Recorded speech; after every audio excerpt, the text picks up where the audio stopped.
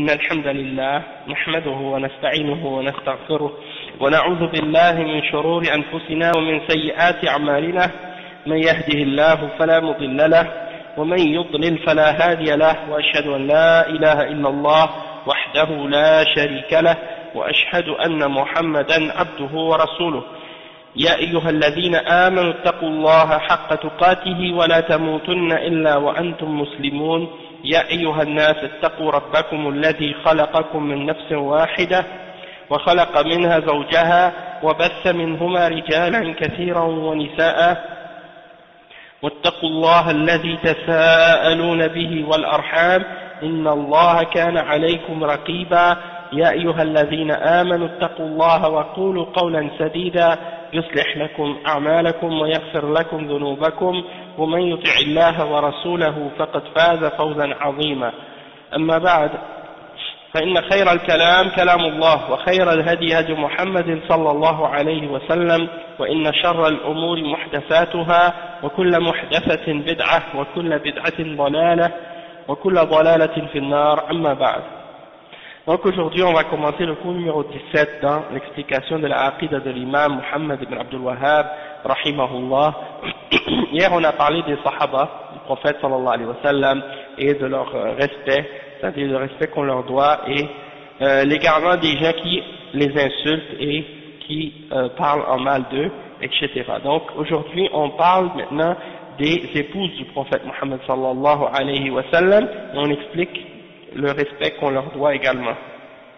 Donc l'imam Wahhab, il explique sa aqidah et il explique, euh, il clarifie sa position à ce sujet-là en disant وأترضى عن أمهات المؤمنين المطهرات المطهرات من كل سوء et également je demande euh, yani à Allah subhanahu wa ta'ala qu'il soit satisfait des épouses du prophète Muhammad sallallahu alayhi wa sallam, celles qu'on appelle Ummahat al-Mu'minin c'est-à-dire les mères des croyants. Al-Mutahharat, c'est-à-dire celles qui ont été purifiées de tout ce qui est mauvais, de tout ce qui est mal. Le cheikh, il l'explique, non, le cheikh Salih al-Fawzan, il dit, والشيخ رحمه الله يترضى عن أمهات المؤمنين زوجات النبي صلى الله عليه وسلم. فهن أمهات المؤمنين في القدر والإحترام لا في النسب ولكن في القدر والإجلال. والنبي صلى الله عليه وسلم هو أبو المؤمنين في القدر لا في النسب. ما كان محمد أباء أحد من رجالكم ولكن رسول الله وخاتم النبيين. يعني في النسب لأن هذا رد على الذين يقولون إن زيدا بن حارثة ابن للرسول صلى الله عليه وسلم. والله نفى هذا ولكن ليس معنى هذا أنه ليس أبا لهم في القدر والإجلال. قال تعالى وأزواجه أمهاتهم يعني وفي قراءة وهو أب لهم يعني في القدر والإجلال. Le cheikh explique que euh, le cheikh Mohammed ibn Abdul Wahhab il demande à Allah qu'il soit satisfait des, des mères des croyants c'est-à-dire les épouses du prophète Mohammed sallallahu alayhi wa sallam parce qu'elles sont des mères pour les croyants dans le respect hein, qu'on qu leur doit, et non pas dans les liens de parenté, parce qu'elles n'ont aucun lien de parenté avec nous, sauf que dans le respect qu'on leur doit, euh, elles, ont le respect des, de, des mères pour nous. Et le prophète sallallahu alayhi wa sallam, de son côté, c'est comme un, le respect d'un père qu'on qu'on lui doit. Hein. Donc il est comme un père pour les croyants dans le respect qu'on lui doit et non pas dans les liens de parenté. Parce que Allah dit dans le verset 40 dans Surat Al-Ahzab que le, le prophète Muhammad sallallahu alayhi wa n'est le père d'aucun d'entre vos hommes. C'est-à-dire dans les liens de parenté, il n'a pas d'enfants de, de, euh, mâles, yani. il n'a que des filles. Donc, il n'est pas le père d'aucun d'entre les hommes. Et ça c'est pour répondre à ceux qui disaient, à ceux qui disaient que Zayd ibn Haritha était le fils de Muhammad sallallahu alayhi wa sallam, le fils du messager. Donc, euh, Allah subhanahu wa a nié ça par la suite. Hein. Il a interdit qu'on attribue à quelqu'un euh, un fils alors que c'est pas réellement son père. Et euh, le cheikh il dit que Allah donc a nié ça et euh, ça ne veut pas dire toutefois qu'il n'est pas notre père dans le respect qu'on qu lui doit euh, c'est-à-dire qu'on lui doit le respect comme on doit, à le respect, comme on doit le respect à son père, etc. Et Allah subhanahu wa ta'ala dit azwajuhu ummahatuhum dans le verset 6 dans Surat al-Ahzab hein, et ses épouses sont leurs mères. Hein, et dans une, une des lectures qui est, qui est rapportée selon Ubay ibn Ka'ab et Ikrima et Qatada et Al-Hassan euh, dans Ad-Dur al-Manfour de l'imam al-Suyuti, il mentionne qu'il y a une lecture qui dit wa huwa abun lahum et c'est un père pour, pour, euh, pour c'est un père pour eux c'est-à-dire dans le respect qu'on lui doit et dans l'honneur qu'on lui doit, etc. وأما إنهن أمهات المؤمنين فهذا بنص القرآن الذي يقرأ, يقرأ إلى يوم القيامة وأزواجه أمهاتهم.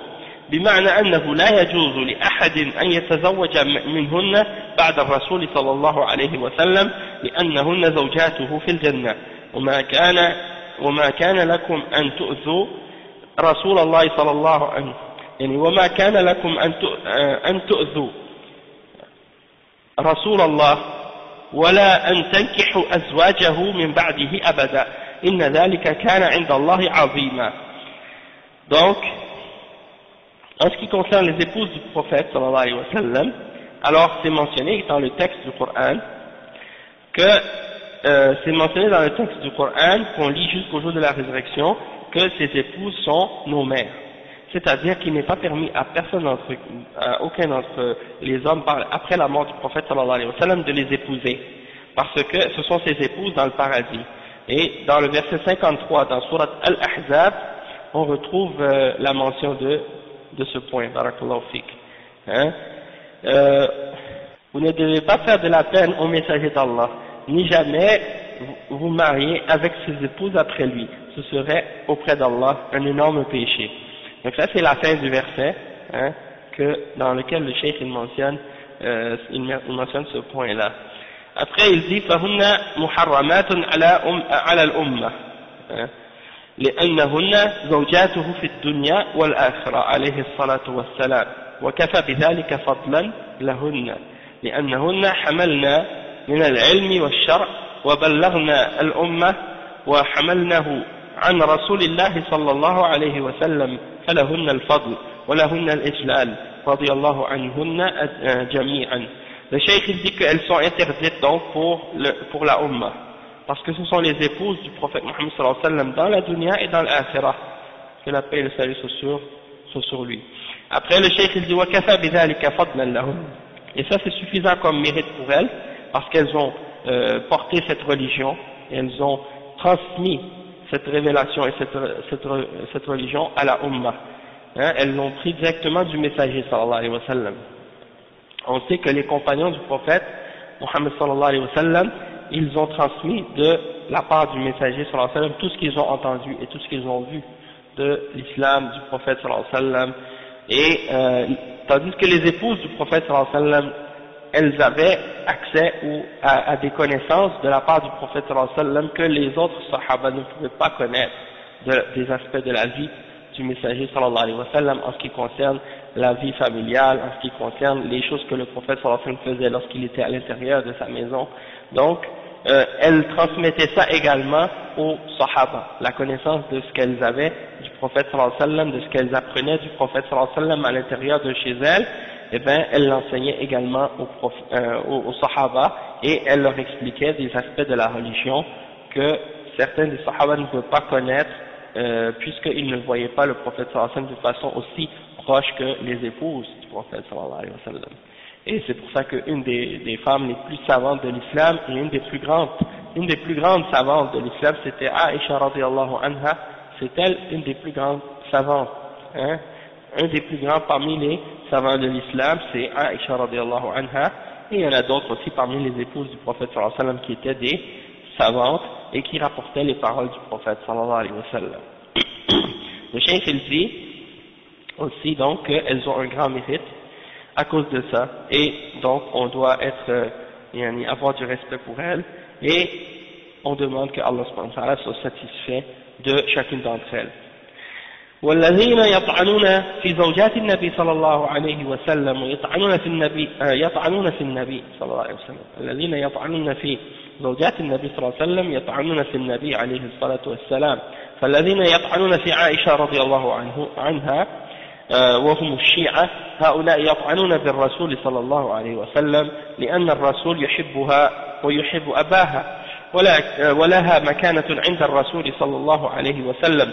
مرض عندها وتوفي بين سحرها ونحرها وكان رأسه وكان رأسه في حجرها عليه الصلاة والسلام وفضلها عظيم لقربها من النبي صلى الله عليه وسلم ونزول الوحي عليه آه، ونزول الوحي على الرسول صلى الله عليه وسلم وهو في فراشها ولها فضائل عظيمة.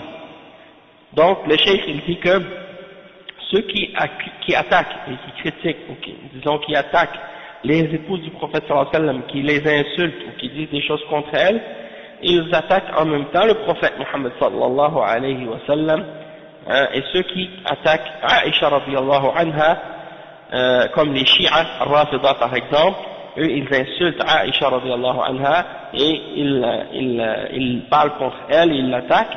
Hein, Ceux-là en réalité ils attaquent le prophète Muhammad sallallahu alayhi wa sallam parce que le prophète Muhammad sallallahu alayhi wa sallam il aimait Aisha radiallahu anha euh, et il aimait également son père, il aimait le père de Aisha radiallahu anha qui est Abu Bakr al-Siddiq, c'était son plus proche euh, ami, c'était la personne qui était la, plus proche du prophète alayhi wa sallam. et euh, sa femme préférée c'était Aisha radiallahu anha. Donc elle avait une place d'importance pour le prophète sallallahu alayhi wa sallam. Lorsqu'il est tombé malade, il demandait la permission à ses épouses pour pouvoir rester dans la maison d'Aïcha anha en particulier. Hein, c'était sa plus, jeune épouse et c'était la seule parmi toutes ses épouses qu'il qui a épousée et qui était vierge. Toutes les autres, elles étaient des veuves ou des femmes divorcées. D'accord? Donc, euh, il, il, elle était sa plus jeune femme et celle qu'il a épousée vierge. C'était la seule. Et il est mort sur elle. Donc, lorsqu'il est décédé, elle, le tenait sur lui. Donc, euh, et Annie, ça c'est des exemples qui montrent le mérite qu'elle a et la proximité, comment elle était proche du prophète sallallahu alayhi wa sallam. Parfois, des révélations étaient révélées alors qu'il était euh, allongé sur son lit, euh, qu'il était allongé sur le lit de Aïcha, anha, ou bien qu'il était sur son lit et les révélations étaient euh, descendues. Euh, le cheikh il dit donc qu'elle a beaucoup de mérite. فالشيعة الذين يطعنون في عائشة رضي الله عنها هذا هؤلاء لا شك أنهم بذلك يعادون الرسول صلى الله عليه وسلم ويؤذونه فمن آذى عائشة رضي الله عنها فقد آذى الرسول صلى الله عليه وسلم والله أنزل براءتها مما اتهمت به من المنافقين في حادث الإفك. في حادث الإفك أولئك مبرؤون مما يقولون.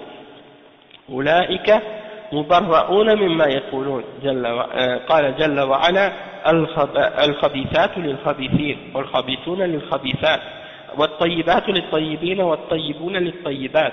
ما كان الله ليختار لنبيه صلى الله عليه وسلم امرأة خائنة في فراشها فإذا طعن فيها فقد طعن في النبي صلى الله عليه وسلم وإذا طعن في النبي صلى الله عليه وسلم فهذا طعن في الله جل وعلا وهذا كفر كفر أكبر Le cheikh il dit que les chiites, euh, c'est eux qui attaquent Aisha radiallahu anha et qui parlent contre elle et qui, qui, qui l'insultent. Ceux-là, il n'y a pas de doute qu'ils attaquent le prophète Mohammed sallallahu alayhi wa sallam et qu'ils l'offensent. Parce que quiconque offense Aisha radiallahu anha, alors il a, il a offensé le messager sallallahu alayhi wa sallam. Et Allah a fait descendre l'innocence de Aisha radiallahu anha contre ce que les hypocrites l'avaient accusé lors de le, le, qu'est-ce que c'est arrivé l'affaire de Al-Ifk, qu'est-ce qu'on appelle Al-Ifk? Al-Ifk, qu'est-ce que c'est? C'est lorsque euh, le prophète sallallahu alayhi wa sallam était parti dans un voyage ou une expédition et puis Aisha radiallahu anha était restée derrière parce qu'elle avait oublié euh, un bracelet à elle. Et étant donné qu'elle était légère, elle était très légère, les, les gens ne s'étaient pas aperçus qu'elle n'était plus dans son dans sa monture, hein, parce qu'elle elle voyageait une, sur un chameau, mais euh, sur le chameau on mettait comme une sorte de, petite boîte en, en bois ou quelque chose avec des pour euh, puis il y a des rideaux autour, donc personne ne pouvait voir qu'est-ce qu'il y a à l'intérieur. Et quand ils l'ont soulevée pour la mettre sur le chameau, ils n'ont pas senti qu'elle n'était pas là parce qu'elle pesait pas, euh, elle n'était pas lourde. Donc ils n'ont pas remarqué qu'elle n'était pas là.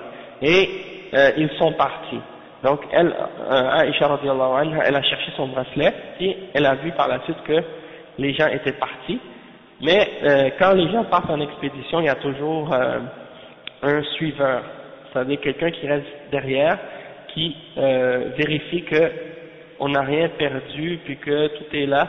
Donc euh, lui, il est arrivé par la suite et il a remarqué que euh, il y avait Aisha anha qui était là en train de dormir.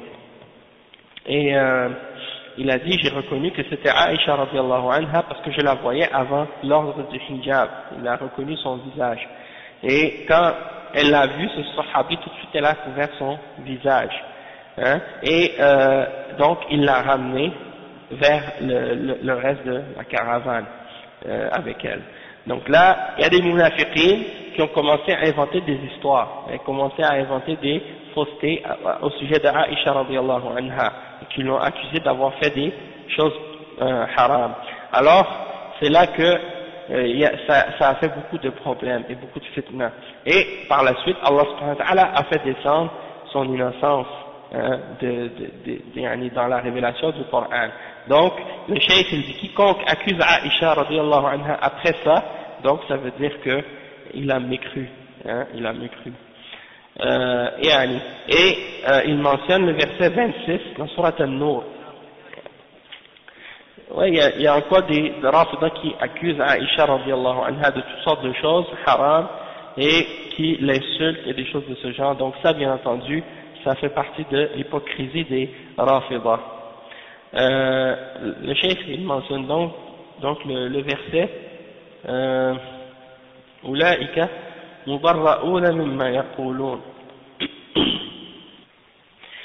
mais le verset c'est ça. Le chef il dit donc que les mauvaises femmes aux mauvais hommes et les mauvais hommes aux mauvaises femmes. De même que les bonnes femmes aux bons hommes et les bons hommes aux bonnes femmes. Ceux-là, c'est ça. Ceux-là sont innocents de ce que les autres disent. Et un pardon et une récompense. Et euh, ils ont un pardon et une récompense généreuse. C'est ça le verset.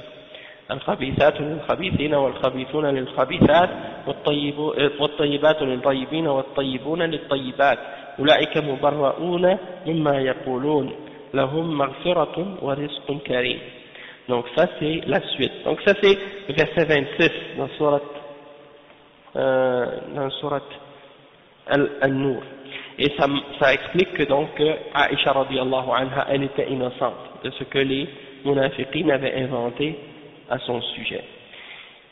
Et euh, il ne convient pas, le cheikh il dit, il ne convient pas que Allah choisisse pour son prophète une épouse qui est qui trahit son, qui le trahit dans son lit, hein, ou bien euh, il y en a des choses de ce genre. Donc, si on accuse Aisha radiallahu anha, c'est comme si indirectement on est en train d'attaquer le prophète sallallahu alayhi wa sallam. Et si on attaque euh, le prophète sallallahu alayhi wa sallam, alors on attaque Allah subhanahu wa ta'ala. Et donc ça c'est kufr, et c'est une forme de kufr majeur.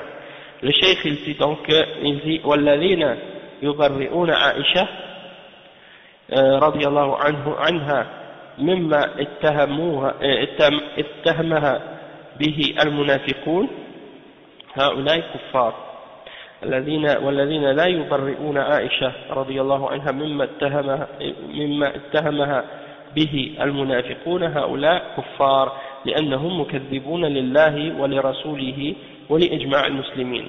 وقبلها وقبلها مريم ابنة عمران اتهمها اليهود.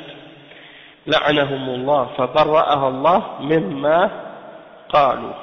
فالشيعة فيهم شبه من اليهود من عدة وجوه وهذا أقبحها.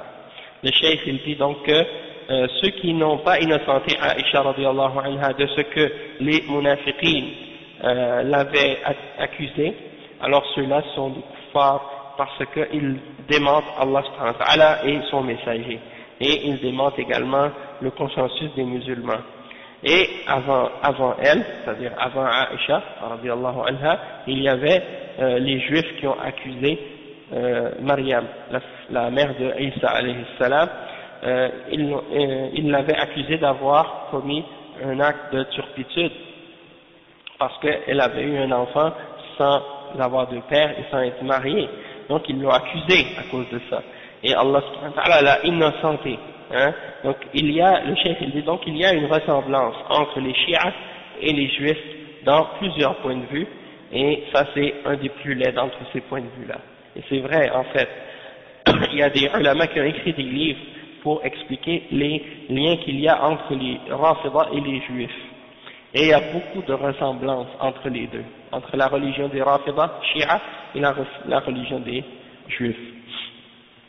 Le chef il dit ensuite, وأقر بك وأقر بكرامات الأولياء وأقر بكرامات الأولياء وما لهم من المكاشفات ça c'est les paroles de euh, de l'imam Muhammad ibn Abdul Wahhab il dit je reconnais les karamat, les prodiges que font les awliya, que font les gens qui sont des euh, alliés d'Allah des rapprochés d'Allah et je reconnais également ce qu'ils ont, que ce qu'ils, euh, ce qu'ils, ce qu'ils font comme, euh, ou ce qu'ils ont comme mukashafat, c'est-à-dire des choses que Allah leur permet de voir ou de comprendre.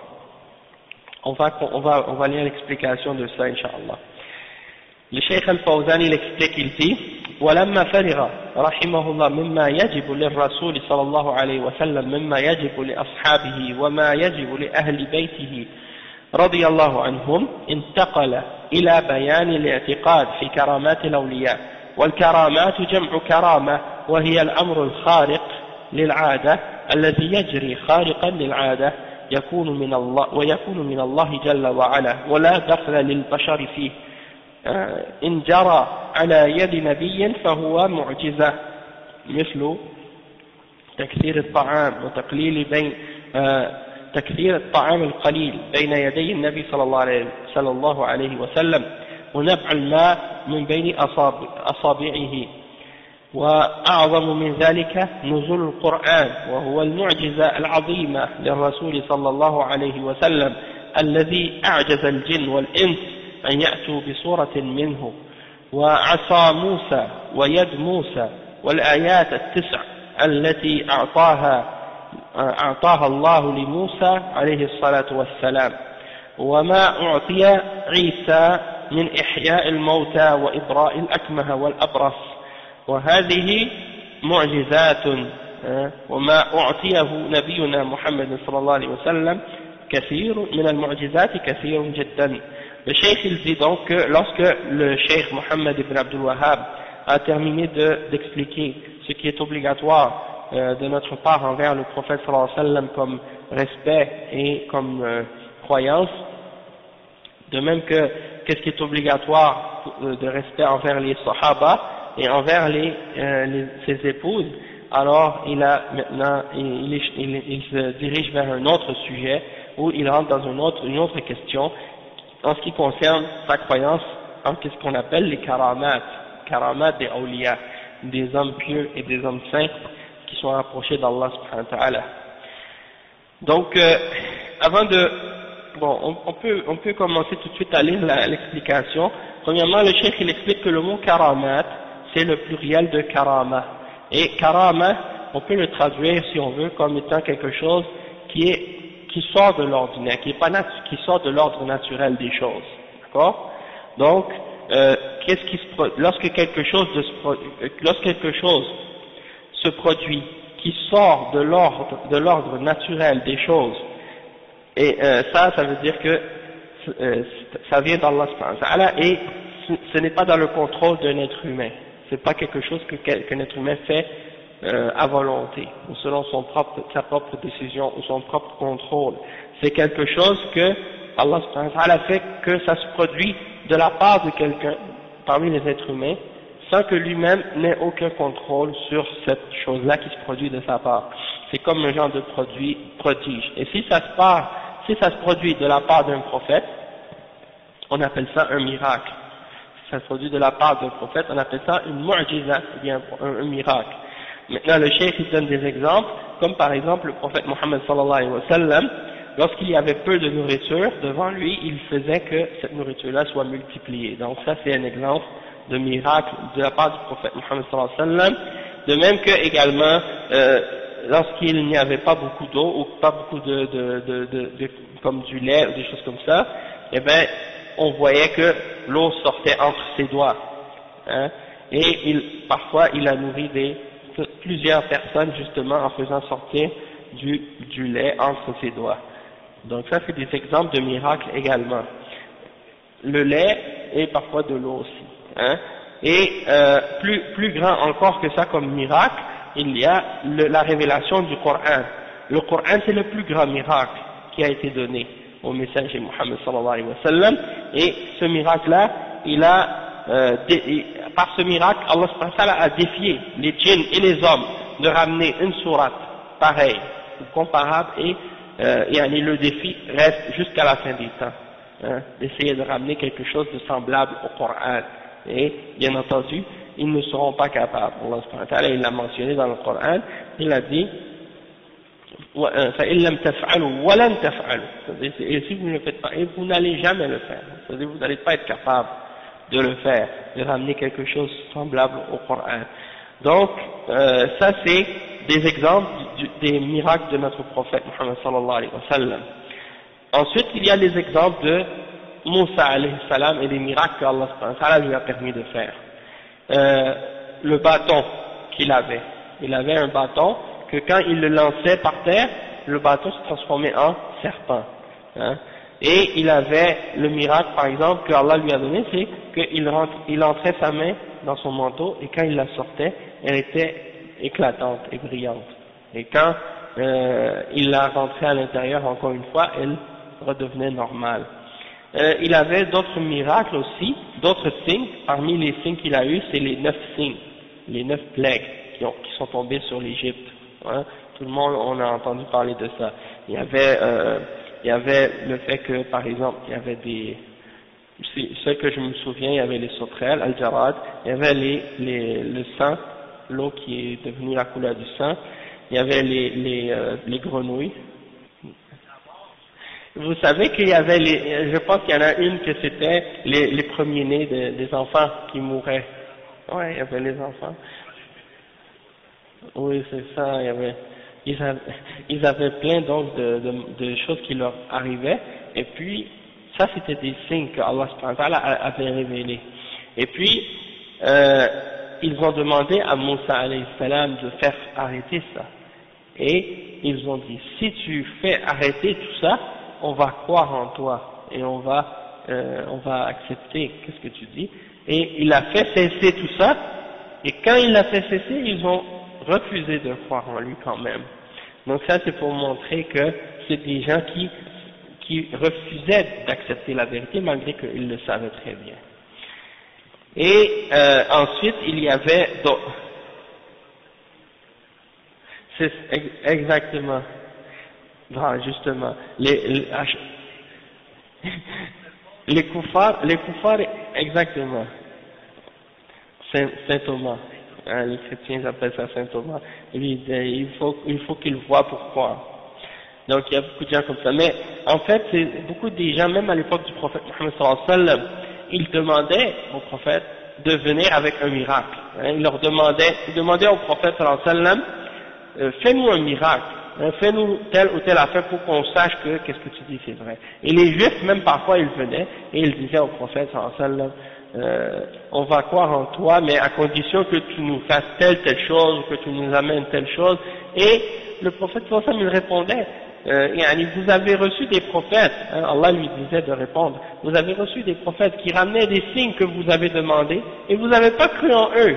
Hein, alors c'est des prétextes, c'est des excuses qu'ils cherchent. Hein, Exactement. Mais, même, mais, ça on va, on va, on va le mentionner juste maintenant. Mais il y a, il y a, le, il y a le, les exemples comme s'il demandait au prophète de, de faire venir des, des, preuves ou des signes, et Allah il dit, même si on faisait, euh, yani, euh, c'est-à-dire parler les, les, morts, même si on leur donnait plein de signes comme ça, des exemples, euh, ils ne croiraient pas. Hein. Donc, et non, lorsque, à chaque fois, lorsqu'on leur ramenait les preuves, ils disaient, ah ça c'est de la magie, ou c'est de la sorcellerie, ou des choses comme ça, oui, ou c'est un magicien. Donc, euh, ça c'est des exemples. Ensuite, le cheikh il dit, Alaykoum salam, non, il n'y a pas de problème, il n'y a pas de problème, il n'y a pas aucun problème. Hein? Donc, ensuite, le cheikh il dit, وما أعطي عيسى من إحياء الموتى وإبراء الأكمه والأبرصة c'est-à-dire également les miracles que Isa salam a fait comme par exemple de faire euh, vivre les morts. Euh, il, a fait, il a fait revivre un mort et il a également donné la vue à quelqu'un qui était un aveugle né et qui il guérissait aussi les lépreux. Tout ça c'est des miracles que Allah lui a permis de faire.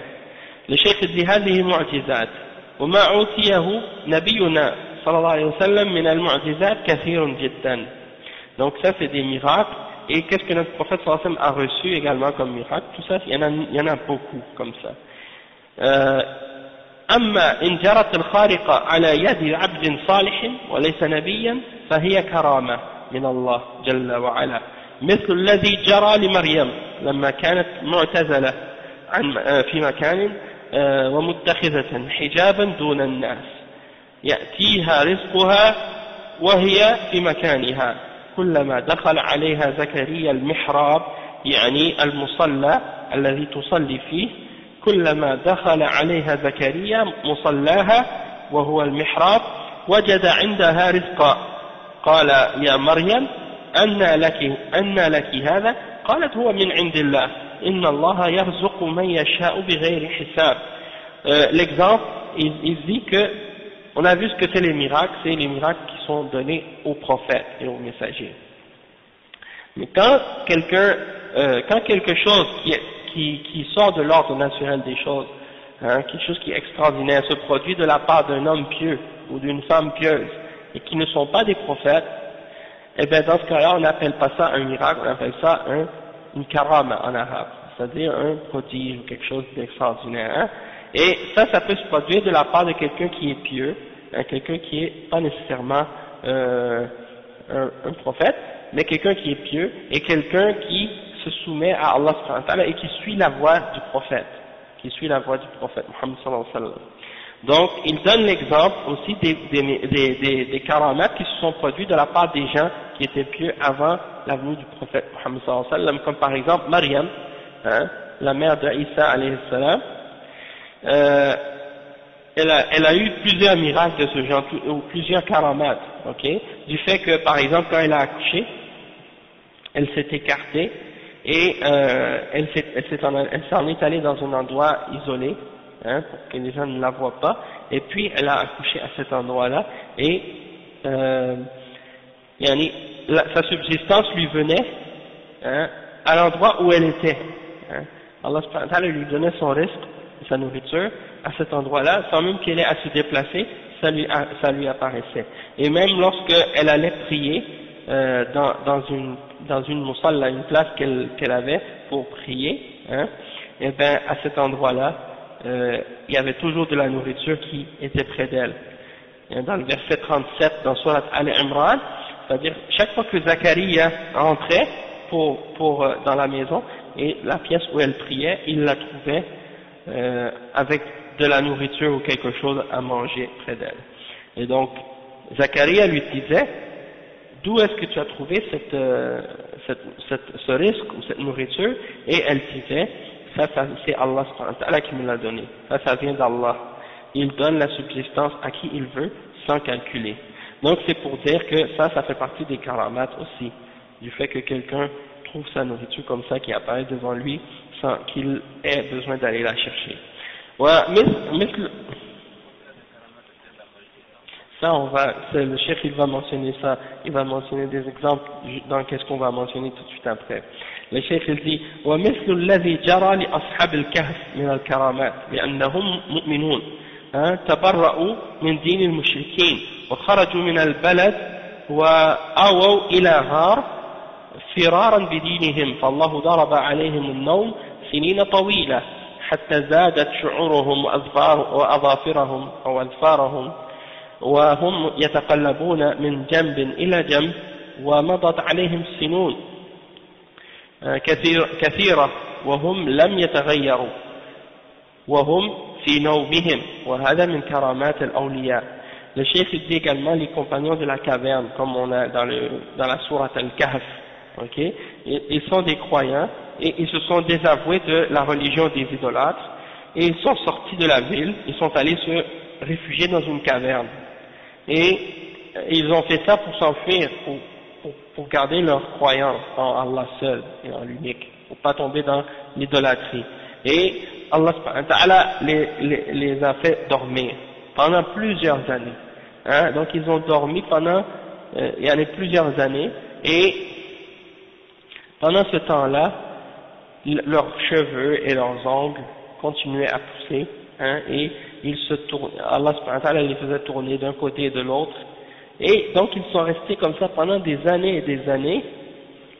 Et euh, ils n'ont pas changé. Ils n'ont pas changé, c'est-à-dire ils sont pas euh, ils sont pas morts, ils sont restés dans leur euh, sommeil, et ça, ça fait partie des karamat, ça fait partie des karamat des awliya Combien de temps, Allahu A'lam 300 وازدادوا تسعة نعم ولبثوا في كهفهم ثلاثمائة سنين وازدادوا تسعة donc environ 300, 309 ans donc ils sont tels quels ils ne sont pas avec leurs vêtements et tout, et puis leurs, leurs euh, cheveux qui sont poussés, puis leurs, euh, leurs ongles et tout. Mais, non, leurs ongles qui poussaient et leurs cheveux qui poussaient. Et leurs bas, oui, très longs, oui. Non. Donc, c'est mentionné, les détails de ça, c'est mentionné dans Surat Al-Kahf, si vous voulez savoir les détails.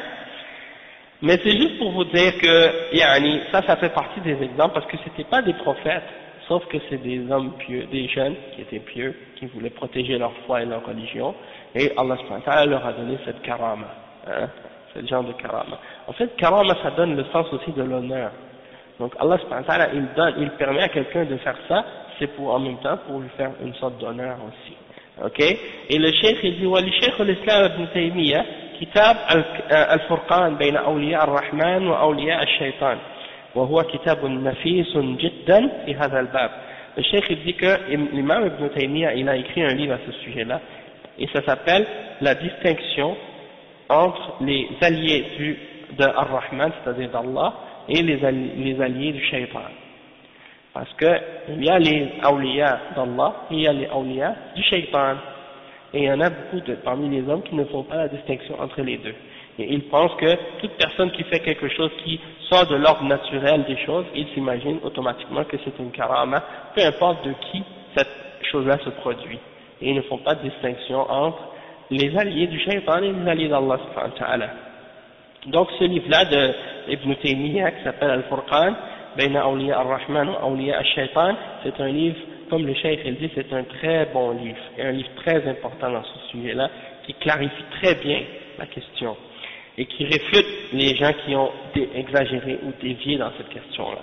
Donc le chef il dit أما, ما أما إذا جرى الخارق على يد كافر أو على يد ساحر فهذا ليس كرامة وإنما هذا خارق شيطاني فالساحر قد يطير في الهواء ويمشي على الماء ويدخل النار ولا تحرقه. وهذا عمل شيطاني ليس بكرامة وهو ابتلاء وامتحان. فنحن نؤمن بكرامات الأولياء وأنها منحة من الله.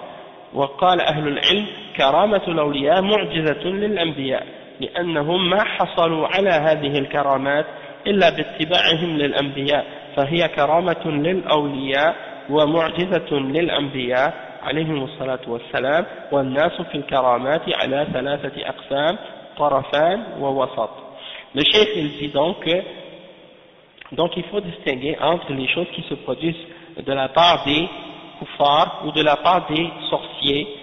Euh, ça c'est pas des karamat. Ça, c'est pas des karamat, c'est pas des prodiges. Ça, qu'est-ce qu'ils font C'est plutôt des ruses du shaitan qu'ils font.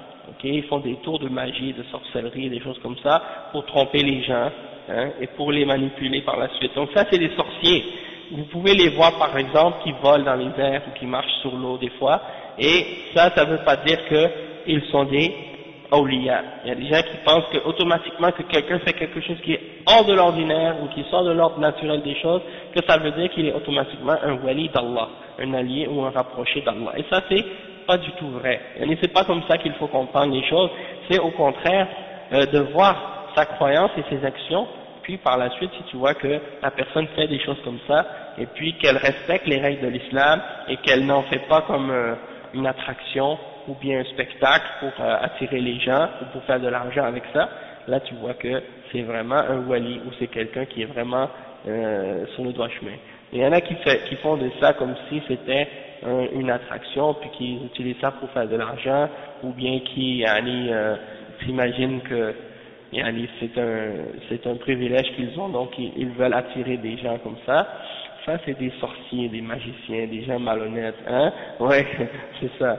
Donc, euh, si tu les vois par exemple, des fois ils disent ils peuvent rentrer dans le feu puis ça les brûle pas, hein? Ou bien qu'ils font des trucs comme ça. Il y en a, il y en a parmi les soufis, beaucoup de ces catégories-là, les soufis. Et il en tu les vois par exemple parmi les turcs soufis, hein, ils vont prendre des tiges de métal puis ils vont faire traverser leur leur euh, leur euh, joue à travers leurs joues, ils rentrent une tige, ils la font sortir de l'autre côté, et puis il n'y a pas de sang qui sort, ou bien ils vont prendre une tige, ils vont la rentrer dans leur ventre, ils la font sortir de l'autre côté, et euh, ils montrent aux gens comme si, regardez, ça c'est des, des, euh, des saints, ou c'est des, des hommes pieux, ça c'est la preuve que ce sont des hommes pieux, ils se rentrent des tiges de métal dans le ventre, ou dans la tête, ou quelque part, et puis ils pensent que ça c'est la preuve qu'ils sont des hommes pieux et des choses de ce genre. Donc tout ça c'est des mensonges, Yanni, et ça c'est des, trucs et des ruses du shaitan que ces gens-là utilisent pour tromper les gens qui n'ont pas de connaissance. Donc ça c'est vraiment important de faire la distinction entre les awliya d'Allah qui font des karamat et les shayatin, al-ins ou qui font des ruses avec les, la sorcellerie et les choses de ce genre pour tromper les gens. Donc euh, le, le il dit Donc nous, on croit qu'il y a des awliya qui peuvent avoir des karamat, et ça c'est un don, ou des choses que Allah leur donne, euh, et les savants ont expliqué que les karamat, euh, c'est des miracles pour les prophètes et des karamat pour les hommes pieux. Dans le sens que, pourquoi ils ont fait ces karamat là Parce qu'ils ont suivi les prophètes. Ils ont suivi l'exemple de, leurs prophètes. Donc, étant donné qu'ils ont suivi l'exemple de leurs prophètes, Allah leur a donné ce genre de karamat là. Et c'est considéré comme c'est des miracles qui, qui, reviennent au prophète. Hein?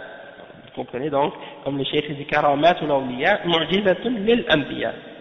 Ok? Et donc c'est comme pour confirmer la véracité du message du prophète. Que Allah donne des karamat à ces gens-là parce qu'ils ont suivi correctement leur prophète. D'accord? Et euh, il dit ensuite, que ce sont des, euh, c'est ça, que ce sont les gens par rapport au, au karamat, par rapport aux produits, sont divisés en trois catégories. Il y a deux positions qui sont à l'extrême, puis il y a une position qui est dans le juste milieu. Et il explique c'est quoi ces exemples-là. Il explique. Il dit الطرف الأول من ينكر الكرامات وهم المعتزلة ينكرون الكرامات الأولياء ويقولون ليس هناك كرامات ولا خوارق لأنهم يعتمدون على عقولهم ولا يعتمدون على الأدلة فينكرون الكرامات Donc le premier extrême, c'est l'extrême des Mu'tazila. Et eux, ils nient les karamat. Ils disent, il n'y a pas de karamat du tout.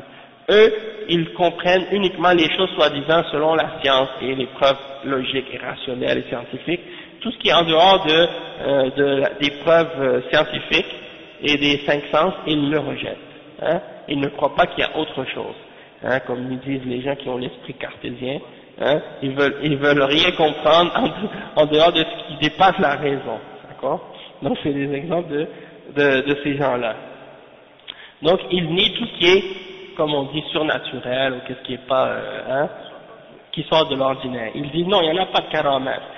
Tout ça, c'est pas vrai, et on se base juste sur euh, notre raison et, les, euh, n'ont pas les preuves de la révélation. Donc ils nient les karamat, ça c'est les mu'tazila. Il y en a beaucoup de gens comme ça à notre époque hein, qui suivent cette voie-là. الطرف الثاني la deuxième extrême c'est فريق غلا في إثبات الكرامات حتى عدوا مخاريق السحرة والكهنة والصوفية كرامات وهي خوارق شيطانية وليست كرامات وهؤلاء غلوا في إثبات الكرامات حتى اعتقدوا أن كل شيء يخالف العادة فهو كرامة. ولو كان جرى على يد ساحر أو كاهن ومشرك فيقولون هذه كرامة. ولهذا يعبدون القبور ويقولون إن صاحبها حصل له كرامات وحصل له كذا وكذا ويطلبون منه المدد. وهذا غلو في أصحاب الكرامات. Donc il y a une autre position extrême aussi, c'est la position des gens qui ont exagéré dans l'affirmation des karamat au point de considérer que ce que font les choses, les choses qui ne sont pas normales, parmi les choses qui sont hors de l'ordinaire, euh, hors de l'ordre naturel des choses, parmi ce que font les sorciers ou les médiums ou les soufis, hein, ils considèrent que ça c'est des karamat.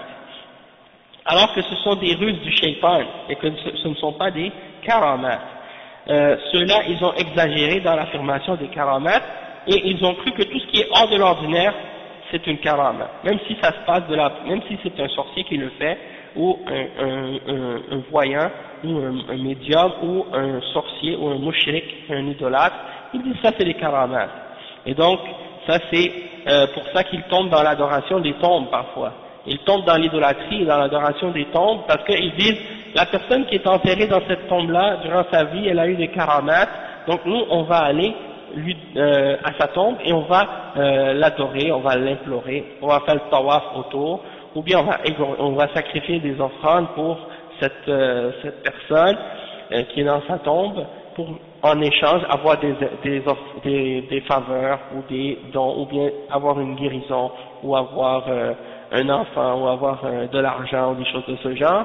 Ils pensent que ces êtres enterrés-là peuvent les aider dans ces choses-là, et ils pensent que s'ils faisaient des karamats, donc ils c'est comme si ils pensent que c'est dans leur, c'est dans leur contrôle, hein, et que c'est eux qui peuvent décider qu'ils font des karamats, même après leur mort, ils vont à leur tombe pour demander ça. Donc ça c'est un autre extrême. Mais justement, euh, le chef il mentionne ça justement, c'est qu'il y a des karamats, il y a des karamats qui, qui, qui sont faits, mais ça c'est uniquement par les hommes pieux et les gens, euh, les, hommes pieux et les gens qui sont des, euh, des gens qui suivent la droit chemin, le droit chemin puis la voie du prophète Mais quand c'est des gens qui sont en dehors de la voie du prophète et qui font de la sorcellerie ou des trucs de ce genre ou qui appellent à la mécréance, on n'appelle pas ça des karamat, on appelle ça des des, euh, des ruses du shaitan ou des choses de ce genre. Et l'exemple du Dajjal, c'est le meilleur exemple. Parce que le Dajjal, il va venir à son époque et il va faire toutes sortes de choses, vraiment, euh, il y a beaucoup de gens qui vont le suivre à cause de ça. Il va faire même trancher un homme en deux et il va le recoller puis la personne va vivre. Hein? Ça c'est de la sorcellerie, ça c'est de la sorcellerie qu'il va faire. C'est vrai que ce sera des choses qui va faire, qui, Allah, Allah va lui donner des pouvoirs, mais sauf que c'est des ruses parce qu'il il, il les utilise pour tromper les gens à les amener dans le shirk, dans le coffre et dans la mécréance. D'accord Tout ce qui se produit dans l'univers, que ce soit la sorcellerie ou que ce soit la magie ou autre chose, ça se produit uniquement par la permission d'Allah. Et c'est pour ça que Allah a dit وَمَا هُمْ بِضَارِّينَ بِهِ مِنْ أَحَدٍ إِلَّا بِإِذْنِ اللَّهِ c'est-à-dire ils ne peuvent nuire personne par la sorcellerie, par la magie, excepté par la permission d'Allah. Donc, on a expliqué qu'il y a l'irada al-kawniya ou l'irada al-shar'iyya, euh, la volonté qui est la volonté dans la création, quand Allah décide que quelque chose est créé, il dit soit et c'est, hein, tout ce qu'il veut, ça se produit, dans ce sens-là. Hein, donc, il n'y a pas quelque chose qui peut se produire dans l'univers, excepté euh, que ce soit selon sa volonté. Hein, c'est lui qui permet que ça existe. Donc si le Dajjal va exister, ou le shaitan, ou les, choses mauvaises, ou le sihr, la magie ou autre chose, tout ça, ça se produit par la volonté d'Allah. Et le but de ça, c'est pour tester les hommes. Hein. Mais dans la révélation, on a la preuve que ces choses-là sont interdites et que ces choses-là sont détestées d'Allah et qu'il ne nous permet pas de les faire. Et que ceux qui, les font, ces choses-là, sont des kuffars et qu'ils méritent l'enfer et qu'ils vont être dans l'enfer pour l'éternité. Donc, on a la preuve dans la révélation d'Allah que Allah n'aime pas ces choses-là et qu'il ne veut pas qu'on les fasse. Ça, c'est dans al-irad al-shar'iyya, dans la volonté, dans la volonté d'Allah, dans sa révélation qu'il nous a fait connaître par l'intermédiaire de ses messagers. Donc, si ces choses-là vont se produire de la part des shayatines ou des diables humains ou des hommes comme les dajjal, les égarés qui appellent à l'égarement, on n'appelle pas ça des karamas. On n'appelle pas ça des karamas. Et euh, peu importe ce que les sorciers aujourd'hui font pour égarer les hommes, c'est rien à côté de ce que le dajjal va faire. Le dajjal, il, va, il fait des choses incroyables. Il arrive dans les champs et il dit aux gens, est-ce que vous croyez en moi ou est-ce que vous me suivez? Ceux qui le suivent, il fait que leurs champs deviennent des, euh, pleins de récoltes et verts et remplis de verdure et de, fruits et de légumes et tout. Et quand il arrive quelque part, et si les gens refusent de croire en lui, il fait que leur terre devient sèche, hein, comme un désert. Hein. Donc, il a un feu avec lui, son feu c'est un paradis. Il a un paradis, il a un paradis avec lui, son paradis c'est un feu.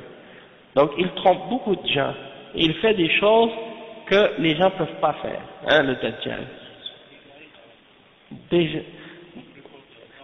Quand le Dajjal va arriver, ça va être pire encore, ça va être plus difficile hein, que ça.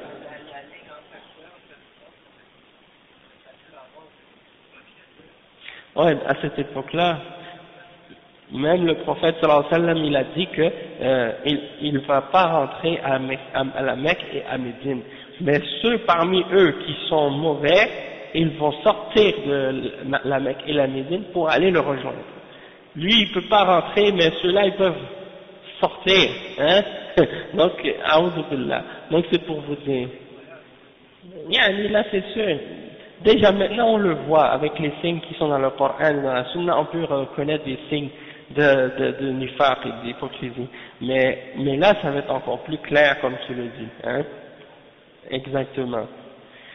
Donc le cheikh il dit euh, ensuite الثالث أهل السنة والجماعة فيتوسطون ويثبتون الكرامات الصحيحة. أما خوارق الشياطين وما يجري على يد الشياطين فهذه ليست كرامات وإنما هي الشيطنة وابتلاء وامتحان. فقد يطير الساحر في الهواء ويمشي على الماء ويحصل له أشياء ولكن هذا يفعل بفعل الشياطين.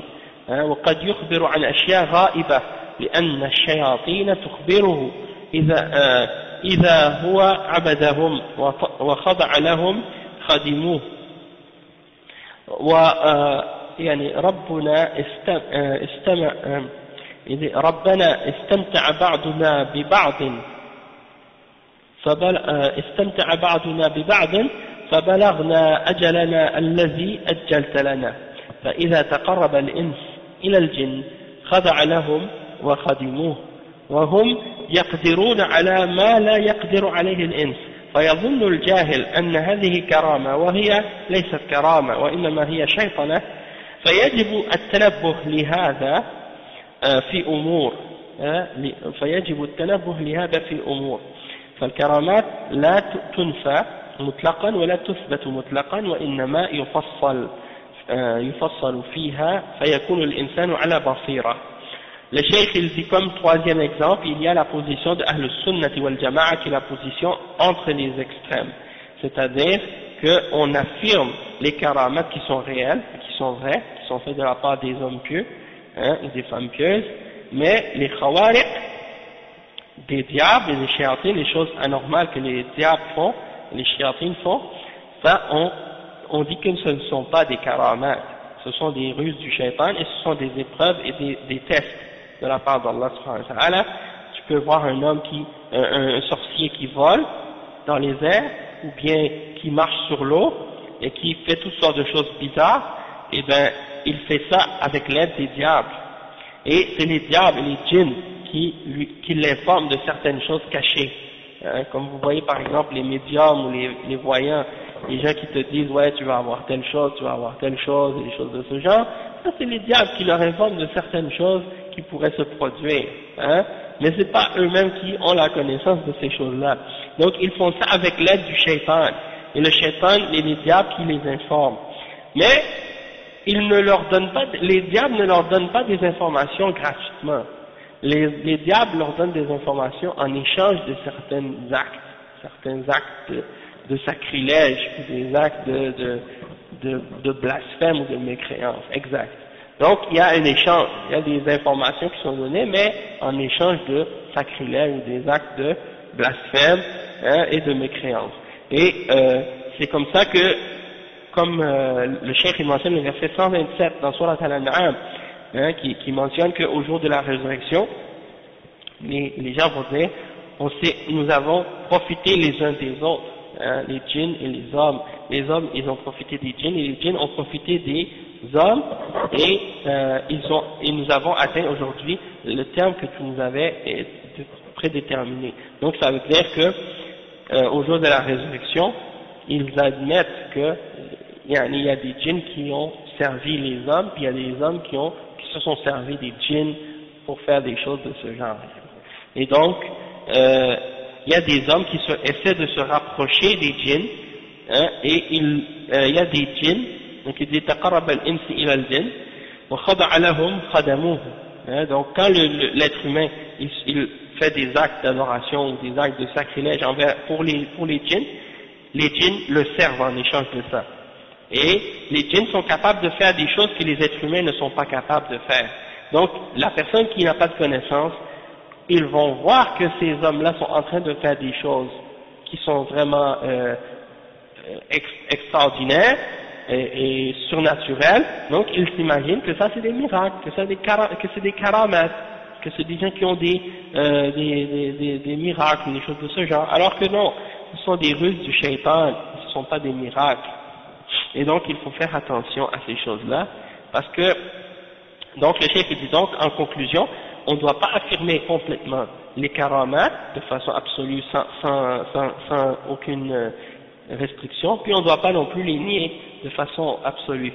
Il faut détailler et euh, clarifier et observer réellement euh, la situation, et donc quelqu'un doit avoir une bonne compréhension, une bonne connaissance de ces choses-là avant de dire ça c'est une karama ou ça c'est pas une karama. D'accord Il faut bien faire attention.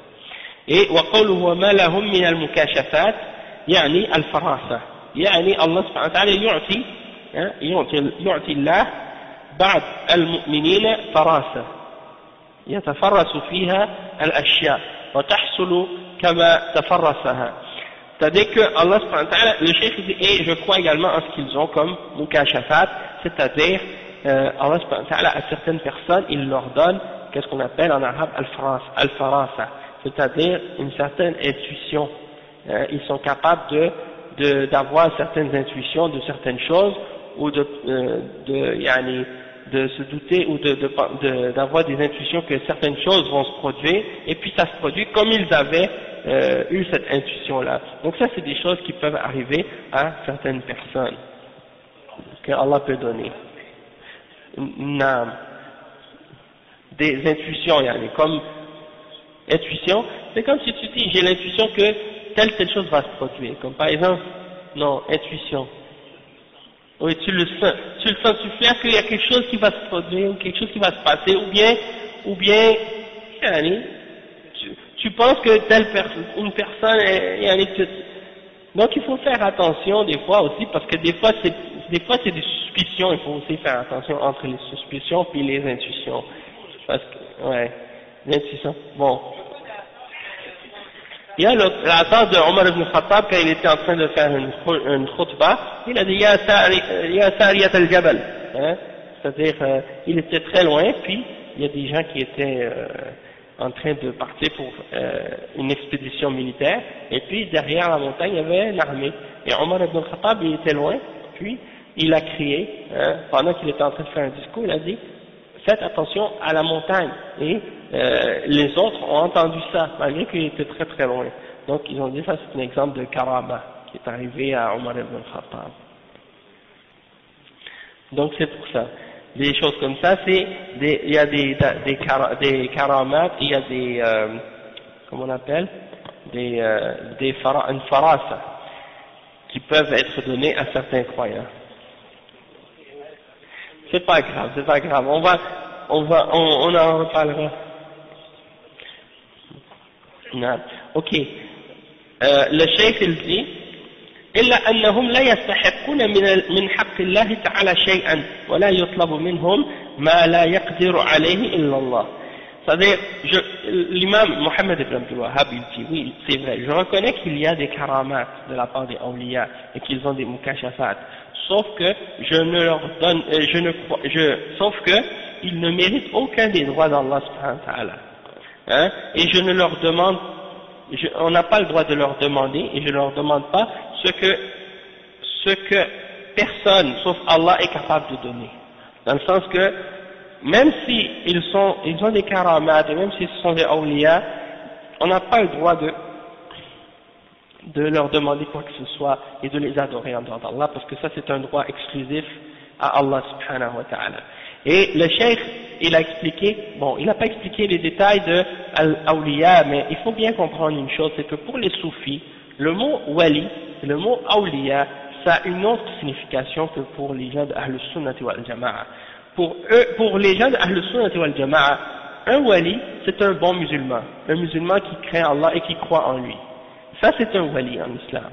Tu n'as pas besoin d'avoir des miracles ou de faire des prodiges ou de, de, de, de prédire l'avenir ou des choses de ce genre, ou de prétendre connaître des choses particulières ou d'être infaillible ou parfait ou de ne pas faire de péché. Ça, c'est chez les soufis, ils pensent comme ça. Et les chiites aussi, pour leurs imams, ils leur donnent l'infaillibilité et la connaissance de, de, de, de toutes choses. Ils croient que pour être un wali, pour être un imam, il faut avoir ces qualités-là. Et même pour les gens d'Ahl Sunnah wal Jama'a, dit non. Allah, il dit dans le Coran, ألا إن أولياء الله لا خوف عليهم ولا هم يحزنون الذين آمنوا وكانوا يتقون. C'est-à-dire, certes, les rapprochés d'Allah ou les alliés d'Allah, ils n'auront nulle crainte et, euh, et ils ne seront pas attristés, ce sont ceux qui ont cru et qui ont eu la crainte, qui ont eu la crainte d'Allah. Donc ceux-là, ce sont des mu'minines, ce sont des awliya. Tous les musulmans sont des awliya, à des degrés différents selon leur niveau de foi, leur niveau, de crainte d'Allah subhanahu wa ta'ala. Sauf que, pour les soufis, non, ça c'est pas suffisant. Il faut que tu fasses des karamats, il faut que tu fasses des miracles, il faut que tu aies la connaissance de l'invisible, il faut que tu aies le contrôle sur l'univers, il faut que tu aies des pouvoirs spéciaux et surnaturels, sinon ils ne te considèrent pas comme un wali. Et ça c'est l'exagération et l'extrémisme et l'égarement de la part des soufis.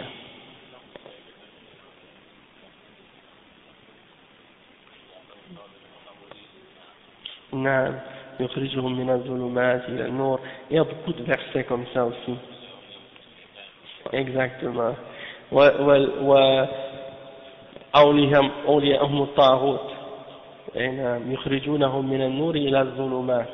Exactement puis il y a, il y a aussi euh, le verset de, الذين آمنوا يقاتلون في سبيل الله والذين كفروا يقاتلون في سبيل الطاغوت donc il y a beaucoup de versets comme ça qui après dit فقاتلوا أولياء الشيطان فقاتلوا أولياء الشيطان إن إن إن إن كيد الشيطان كان ضعيفا donc c'est pour dire qu'il y a des awliya du shaitan il y a les awliya d'Allah subhanahu wa ta'ala et euh, il y a aussi euh, donc il y a Hizbullah puis il y a le Hizb du shaitan le parti d'Allah et le parti du shaitan donc euh, le cheikh il explique il dit وقوله لا يستحقون من حق الله تعالى شيئا.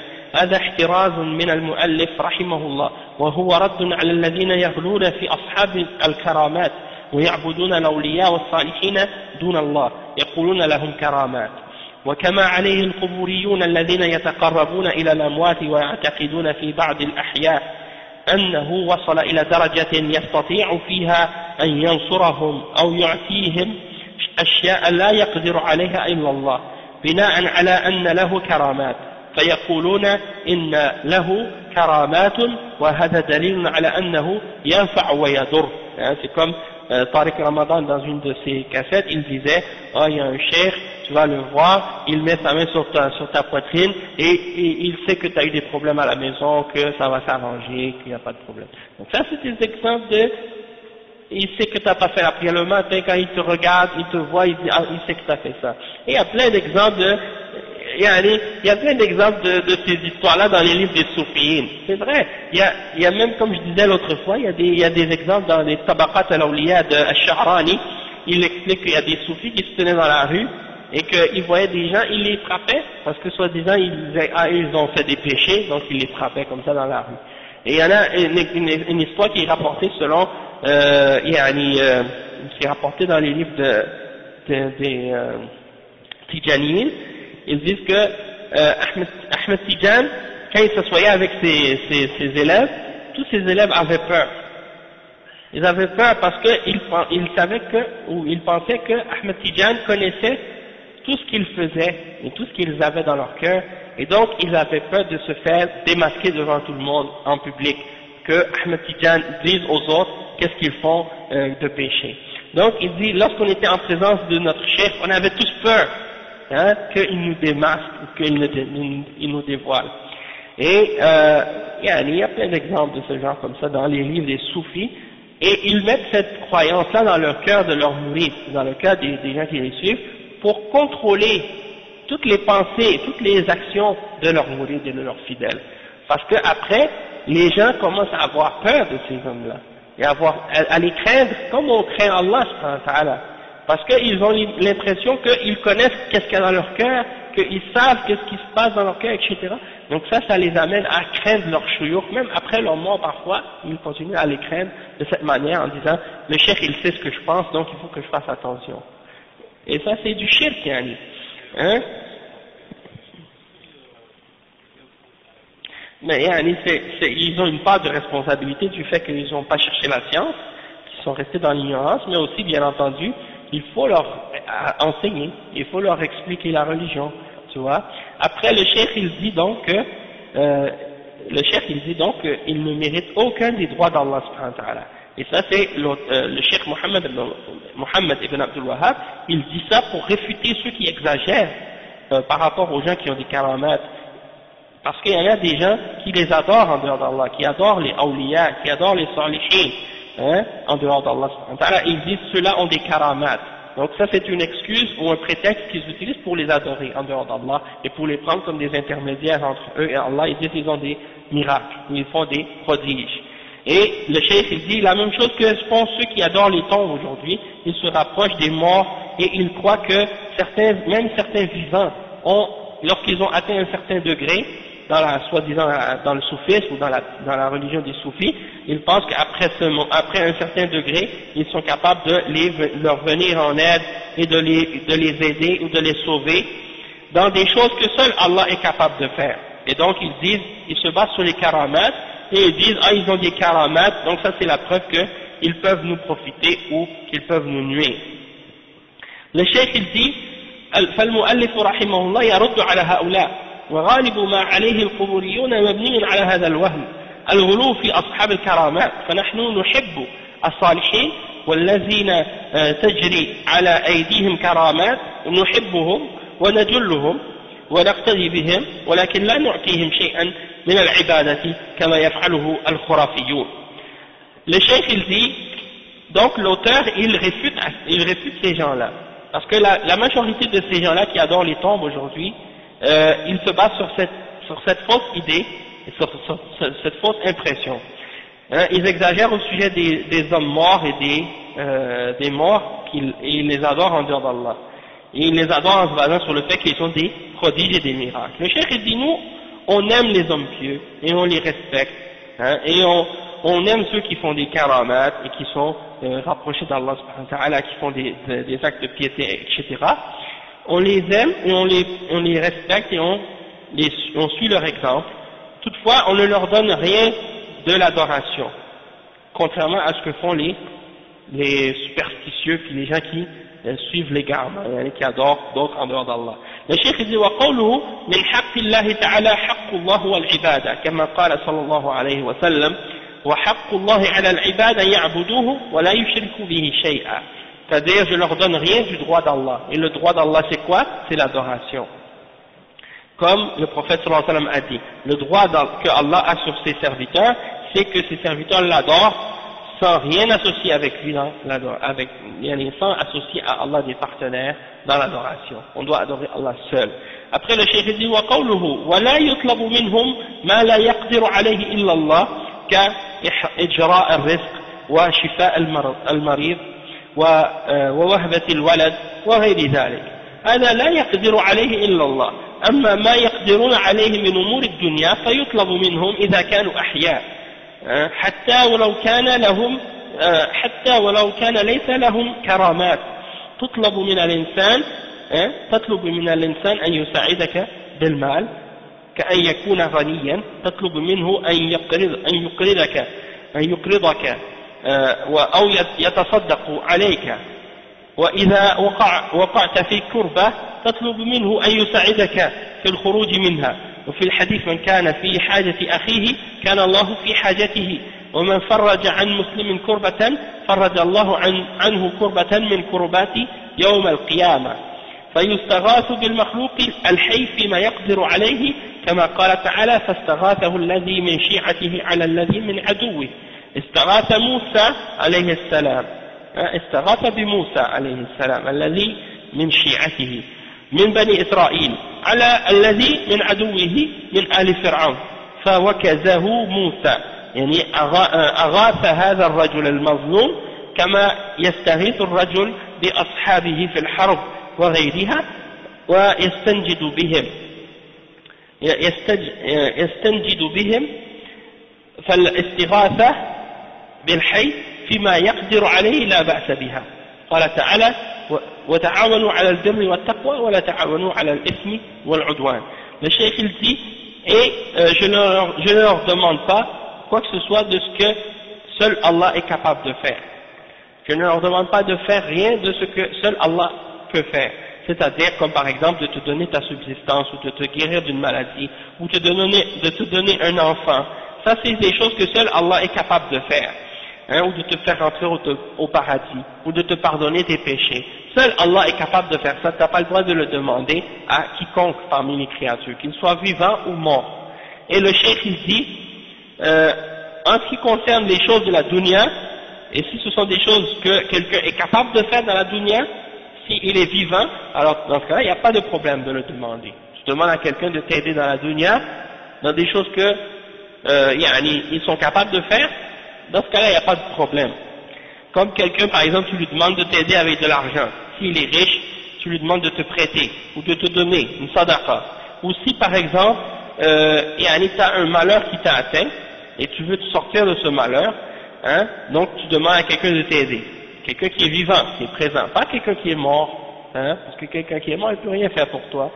Donc le cheikh il mentionne le hadith qui est rapporté par Al-Bukhari et Muslim selon Ibn Umar anhu qui dit celui qui aide son frère dans le besoin, Allah va l'aider dans son besoin. Et celui qui, euh, qui soulage son frère d'un malheur, eh bien Allah va le soulager d'un malheur parmi les malheurs du jour de la résurrection ou les difficultés du jour de la résurrection. Donc toi tu aides quelqu'un parmi tes frères dans la dunya, Allah va t'aider au jour de la résurrection. Donc, le chef il dit, on a le droit de demander, d'appeler au secours une créature, parmi les créatures, dans des choses qu'il est capable de faire. Comme Moïse, par exemple, il y a quelqu'un qui l'avait appelé au secours. Hein, il était à proximité et il a demandé à Moïse de venir l'aider contre son ennemi. Alors ça c'est dans le verset 15 en Surat al-Qasas, hein, euh, il dit que celui qui était parmi les gens de, des fils d'Israël a appelé Moïse au secours contre son ennemi. Et Moïse est venu, Moussa alayhi salam est venu et il l'a aidé. Hein. Moussa alayhi salam est venu et il l'a frappé. Hein. Il l'a frappé puis il l'a même tué en le frappant. Et donc ça c'est l'exemple que quelqu'un peut venir en aide à quelqu'un qui est dans euh, la difficulté ou quelqu'un qui est euh, opprimé, tu viens à, son aide, comme cet homme qui avait demandé euh, de l'aider ou bien quelqu'un qui est dans la guerre, par exemple, il y a une guerre, puis toi tu appelles quelqu'un pour dire viens, nous aider pour euh, affronter l'ennemi, etc. Donc tout ça c'est des choses qui sont permises. Pourquoi? Parce que ce sont des choses que tu demandes à quelqu'un qui est vivant et qui est quelqu'un qui est capable, qui est dans la possibilité, dans la capacité de t'aider. Et comme dans le verset 2 de Surat Al-Ma'ida, Allah dit et euh, entraidez-vous mutuellement dans la, dans la piété et dans le bien, et ne vous entraidez pas mutuellement dans le péché et dans la transgression. Après le cheikh il dit أما الاستغاثة بالأموات فلا تجوز مطلقا لأن الأموات لا يقدرون على شيء لا الرسول صلى الله عليه وسلم ولا غيره وهم في عالم وأنت في عالم فلا تطلب من الأموات شيئا بحجة أن لهم كرامات وأنهم يقدرون أنهم يقدرون هذا باطل فالميت لا يطلب منه شيء ولو كان من أفضل الناس وكذلك الحي لا يطلب منه ما لا يقدر عليه إلا الله لا يطلب منه شفاء المريض أو إعطاء الولد أو جلب الرزق فما يطلب من المخلوق شيء لا يقدر عليه إلا الله Donc, le cheikh il termine en disant que on n'a pas le droit d'appeler euh, au secours les morts. Ça c'est de façon absolue, on n'a pas le droit du tout. Parce que les morts, ils ne sont rien capables de faire. Et le ni le messager, sallallahu alayhi wa sallam, ni les autres, parmi les êtres humains, une fois qu'ils sont morts, c'est fini, ils ne peuvent plus nous aider. Tandis que les soufiyines et les yazbid'a, eux, ils disent, il n'y a pas de différence entre le vivant et le mort, ils peuvent aider les deux de la même façon. Et il y en a même parmi les soufiyines qui disent que quand tu appelles le mort pour qu'il vienne t'aider, il sort de sa tombe, il vient t'aider, puis il retourne dans sa tombe après. Ça c'est la aqidah des soufiyines. Hein et donc ça c'est l'égarement total. Souvent, comme le cheikh Ibn Taymiyyah a dit, c'est un diable qui sort et qui donne l'impression aux gens que c'est un être humain, que c'est la personne en question. Et il va remplir son besoin, il retourne dans la tombe, les gens pensent que c'est la personne. Ou des fois même ils entendent des voix dans la tombe, et c'est la voix d'un djinn qui parle, et eux ils pensent que c'est la personne réelle qui parle, qui parle. Ou bien il y a des gens comme ça qui font toutes sortes de trucs comme ça.